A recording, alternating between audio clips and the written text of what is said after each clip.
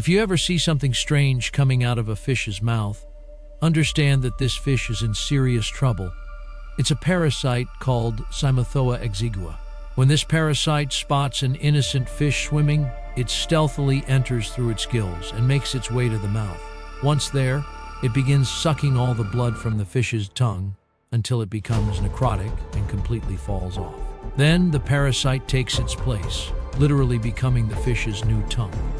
From that moment on, everything the fish eats is first consumed by the parasite, and only the leftovers reach the fish's stomach. In addition, from time to time it continues feeding on the fish's blood until the fish eventually dies. The most terrifying part is that Cymothoa exigua is the only known parasite that completely replaces one of its host's organs and continues functioning as that organ. Although it sounds like something straight out of a horror movie, this parasite is real and has been found mainly in fish from the Gulf of California.